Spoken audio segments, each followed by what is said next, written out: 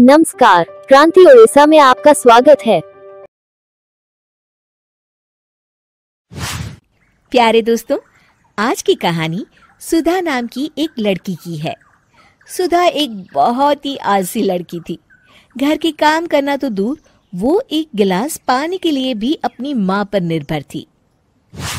अरे अब उठ भी जा, नालायक। दस बजे तक सोती रहती है। अरे कुछ तो घरेलू लड़कियों वाले लक्षण दिखा। सोने दो ना माँ, क्यों परेशान कर रही हो? अरे भाग्यवान, क्यों मेरी बिटिया को तंग कर रही हो? सोने भी दो इसे। लो, बाप, बेटी दोनों एक जैसे हैं।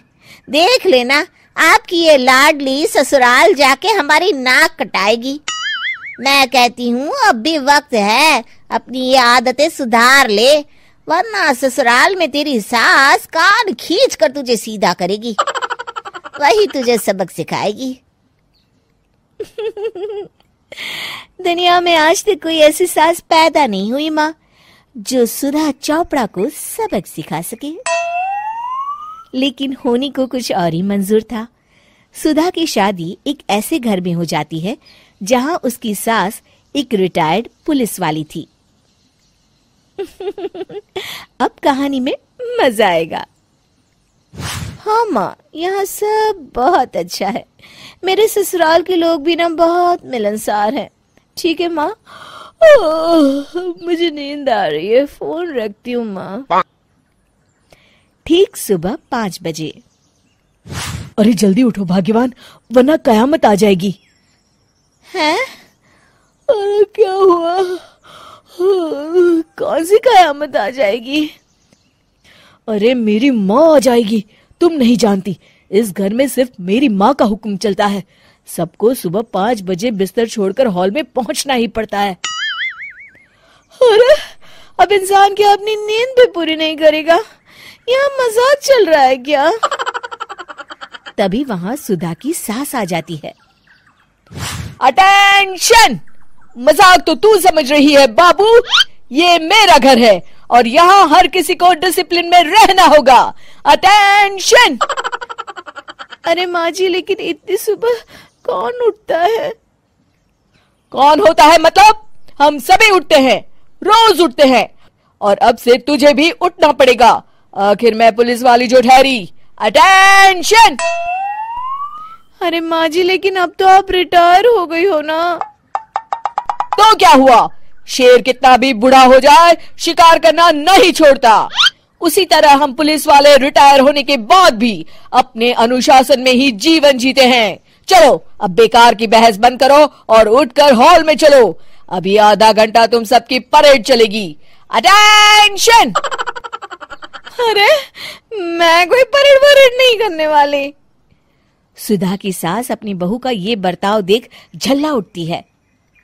गौर से देख तू कहा और किसके सामने खड़ी है? यहाँ बात सिर्फ़ एक बार समझाई जाती है बस! अटेंशन इतना कहकर सुधा की सास चली जाती है। अपनी सास का ये रूप देखकर सुधा घबरा जाती है और जल्दी से उठकर बाहर चली जाती है। उस दिन से सुधा की ज़िंदगी बदल जाती है। हाय थक गई मैं तो। ये घर है या जेल? कितना काम करना पड़ता है। लाइए दीदी दो रोटियाँ और दीजिए मुझे बड़ी भूख लगी है। ठहर जा बहू ये तू क्या कर रही है? मैंने सबके खाने का हिसाब तय कर रखा है। तुम चार रोटी से ज़्यादा नहीं खा सकती और ये मिर्च मसाला भी नहीं चलेगा मेरी बहुए एकदम फिट होनी चाहिए। अटेंशन क्यों माँ जी? आप हमें दंगल में लड़ने के लिए तैयार कर रही हैं क्या? क्या कर रही हो सुधा? माँ जी को मज़ाक बिल्कुल पसंद नहीं है। चुप करके खाना खा लो इसी में भलाई है। इस तरह धीरे धीरे सुधा अपने सास के रंग में पूरी तरह रंग जाती है। लेकिन इसका उल्टा ही असर पड़ता है। सुधा अपनी सास से भी ज़्यादा अनुशासन की पक्की हो जाती है। सुधा की सास तो सबको पाँच बजे उठाती थी, लेकिन सुधा सबको चार बजे ही उठा देती थी। दूसरी तरफ़ सुधा की सास की उम्र भी हो चलती है।